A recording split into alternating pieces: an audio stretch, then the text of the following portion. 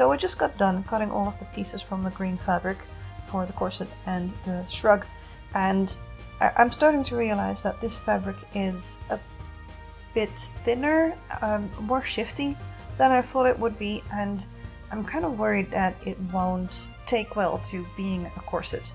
Um, as I was cutting these out, the fabric was shifting around a lot. I'm not sure that would work well for a corset where everything is supposed to be, you know, in the same place. So I think I'm gonna have to use the mock-up that I made as uh, a base layer for this. Use it as an interlining against the back of these pieces. But this does mean that I have to take apart the second half of my corset mock-up as well so that I can fuse it to these pieces and then sew it back into corset again. In the meantime, I still have to use half of those pieces to cut out the lining for the corset, which is going to be in a different green fabric.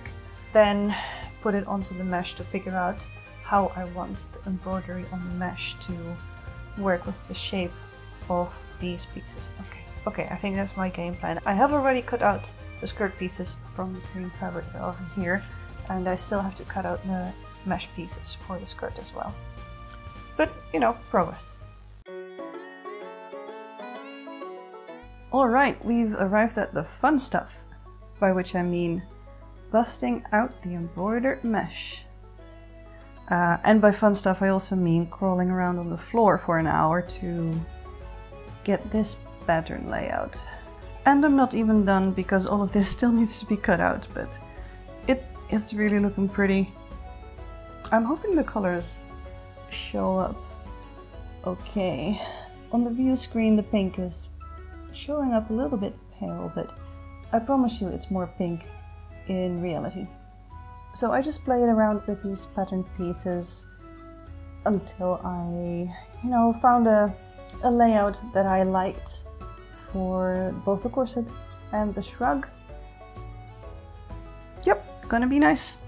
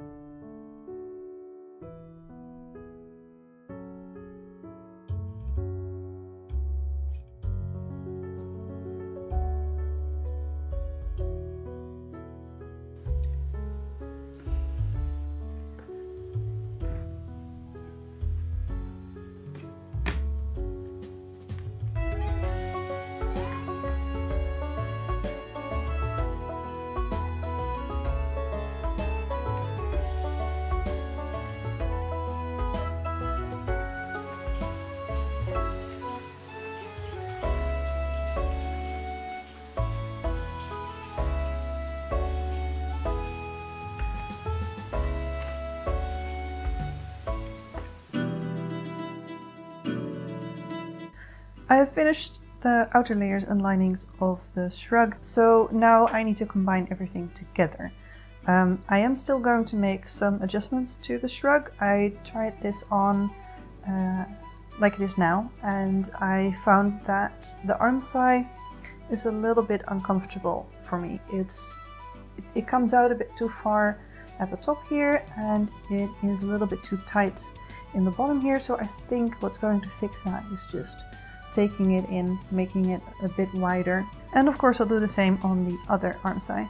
I still have to round out the neckline at the top there, uh, which I'm gonna do after I figure out the armscye. I've got the sleeves ready to put in as well, they're over here. Um, so first I'm going to fix the armscye, then um, baste in the sleeves, and I'm going to attach the lining to the shrug at the arm side. The original pattern doesn't even have a lining, it just, um, oh, it's not here, but it just says to put bias tape around the outer edge and the armhole here is just turned under.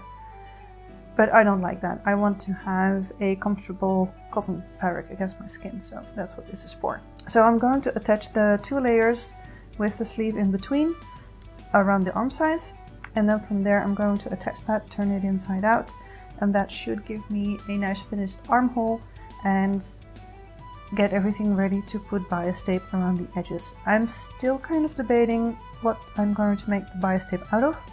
I've got a pattern here for a continuous bias tape and I'm thinking to use just the green fabric because the mesh is a little bit scratchy and the bias tape is going to be, you know, against my skin on the inside as well. So it's either going to be just the green fabric or I might make it out of the cotton, but it's a little bit greener than my outer fabric. So I think that might look weird. So I'm, I'm probably going to do it from the green fabric itself. So yeah, that's my plan. Now I gotta do it. Well, I was in the zone last night and I didn't film anything I did, so um, let me tell you how it went. I sewed together the outer and inner layer around the armscye with the little sleeves uh, sandwiched between. That was a little bit tough because of the thickness of the layers that it ended up being, but went okay. However, turning it inside out did not work as planned. Um, I, I guess it's... I tried to picture in my head beforehand how it would go, and I must admit that turning it actually inside out was a little bit vague, but I went ahead and did it anyway except that I kept ending up with the lining on the outside uh, right sides together every time I tried it. So my guess is that having the armscye as closed loops and having two of those prevents the fabric from actually turning inside out. However, I realized a quick solution to that was to separate the center back seam of the lining. That would give me two separate pieces that I could each turn inwards. So that's what I did. That worked absolutely fine. Um, after turning it inwards, I had to iron the armscye a lot to get it to lay nice and crisp, nice and flat. Um, but I'm very happy with how this turned out. I trimmed a little bit off of the neckline. I made this edge a little bit rounder, made this a little bit less tall because it was coming up high in my neck. Wasn't really that comfortable. And I've been trying to fix this area here. I think from my mock-up, I don't think I made the pattern pieces as symmetrical as I could have. So this keeps looking just a little bit off. I think maybe I need to take off a little bit more here because it's just looking a little bit not straight. Let me line this up with the line on my cutting mat. this. Oh yeah, yeah, yeah, yeah. You can see that it's a lot higher up here. okay, that needs a little bit more trimming. I've basted together the two layers uh, with some white thread uh, just to keep everything in place, but I need to even this out just a little bit more it looks like. And then we'll put bias tape around the edges. Of course then it isn't quite finished because I still want to attach um, long sleeves of the embroidered mesh inside the armholes here, just around the top here I think. But I want to save that for when this is kind of done uh, and then I can go ahead and see how big I want those sleeves to be. Okay, let's, let's see if I can make this look a little bit more even.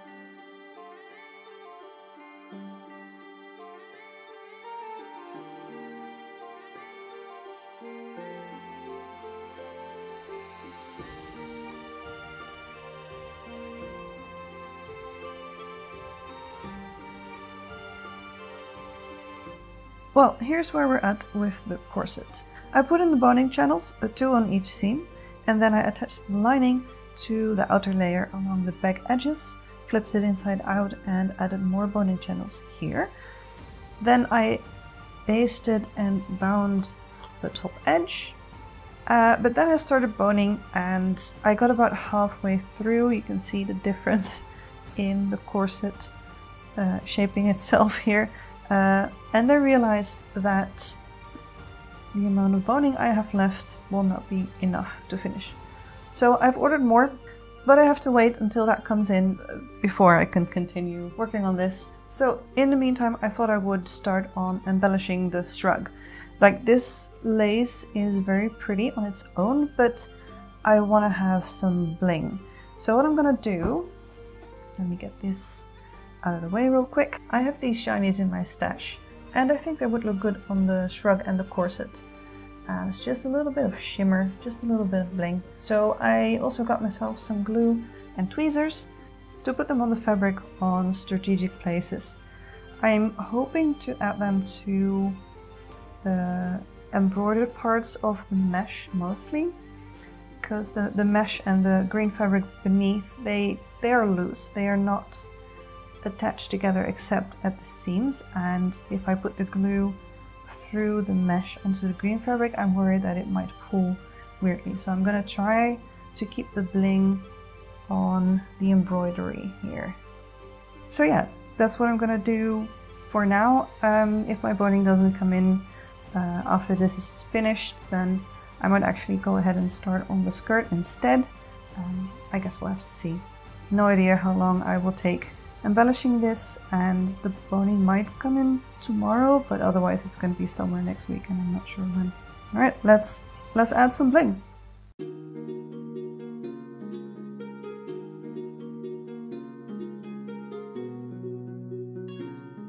The corset is almost done.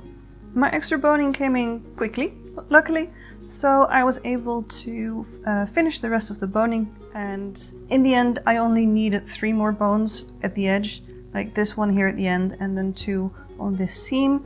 That was all the boning that I needed. But I, I definitely would have been able to finish with the, the amount of boning that I had left. It does mean that this is probably not going to be enough for a future corset at least not an overbust. So I might have to remember to get more boning if I make another corset in the future but I will probably have to figure that out halfway through, just like this one. Um, but that's for the future. Right now...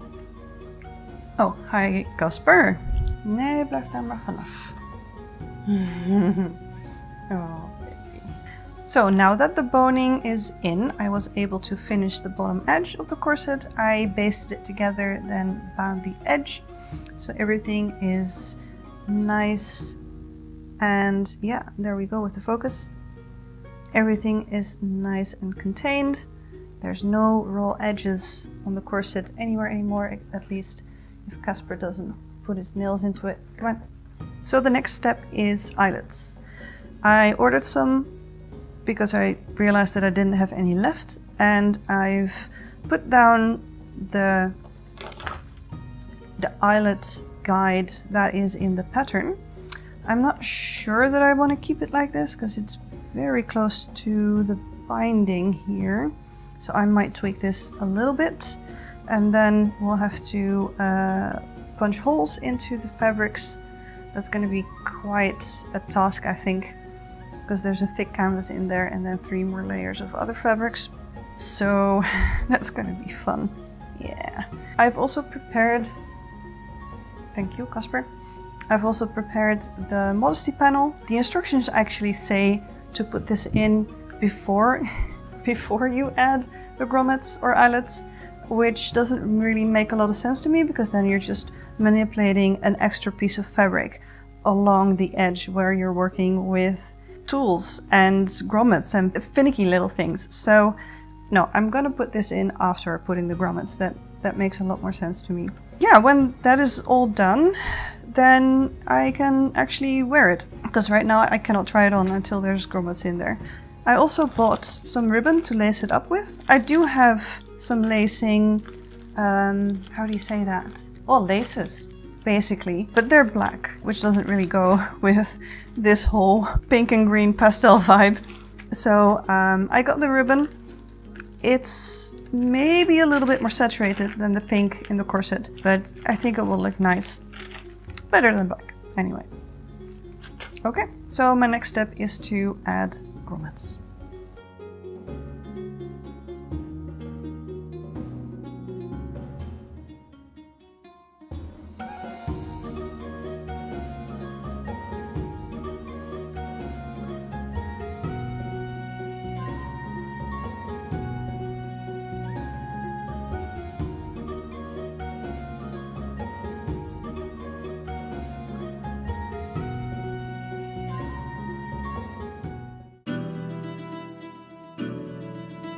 So I've been working on the long sleeves for a bit, the ones that are gonna hang from the shrug. So what I did basically, I, I took the sleeve pattern that was part of this pattern, the left sleeve here. So I took that sleeve pattern and I split it up around like the front bicep part of the armscye and then attached that part to the back of it because I wanted to have a slit in the front of the sleeve. And then I recreated that curve kind of in the lace fabric, but spread out a lot because I wanted to have kind of a big sleeve. Uh, and I have about a yard, a little bit more left for either sleeve from this fabric. Which fun fact, I ordered 8 yards, but I think I actually got 10 if I'm adding all of this up together. I have 5 yards reserved for the skirt.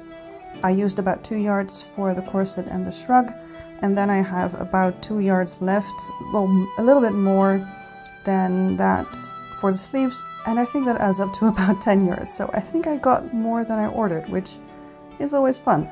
So I pinned this shape onto the shrug and tried it on and decided that I don't like it. It is too tubular.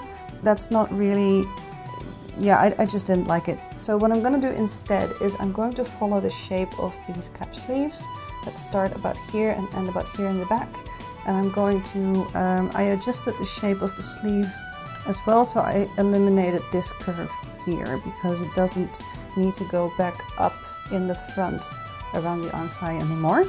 So I just made that straight. I'm not sure if that will work, but we'll see. What I'm going to do now is, this is the left sleeve that I've got here.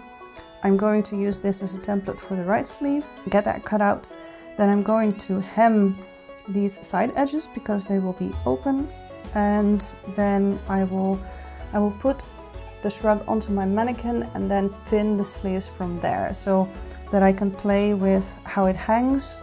I have to pleat all of this into this area here basically so uh, I'm gonna play with that on the mannequin so I can see how it hangs. I also want to make sure that this part of the design here, I want that to show on the top of my arm. So this is to be gathered and then all of this is to be gathered as well. But this part I want to keep relatively clear. We'll see if that works out. I'll have to try it on the mannequin. So that's what I'll do next.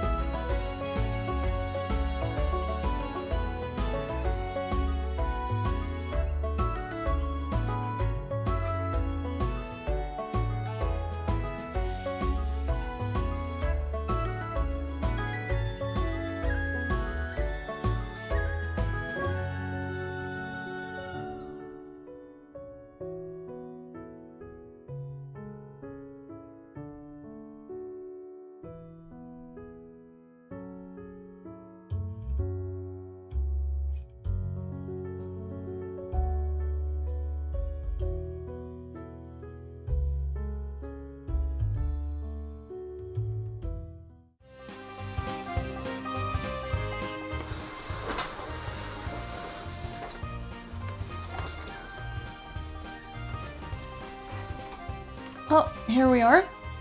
The shrug is done, the corset is done. Uh, it doesn't fit my mannequin very well because the mannequin is not squishy. You get the idea. I've attached the lace sleeves to the shrug. Uh, I think I showed that on camera as well. I just pinned them onto the shrug's lining while it was on the mannequin. Then I basted it, tried it on, fiddled with it a little bit so the fabric hung nicely uh, and I was happy with it and then I stitched it down more securely with a whip stitch and covered the raw edges with some bias tape made out of the lining fabric um, because the raw lace against my skin was not very pleasant and I'm very happy with how she turned out. I've added some of the same bling that is on the shrug to the corset. If I do have time, because we are now less than a week before Castlefest, which is the event that I'm going to be wearing this, and I still have to finish the skirt. Uh, but if I do have time, I want to add a little bit of sparkle to the sleeve as well. Not as much as the shrug and the corset, just some little bits um, here and there. All I need to do now is finish the skirt. Yeah, very happy with this. Let's go make a skirt.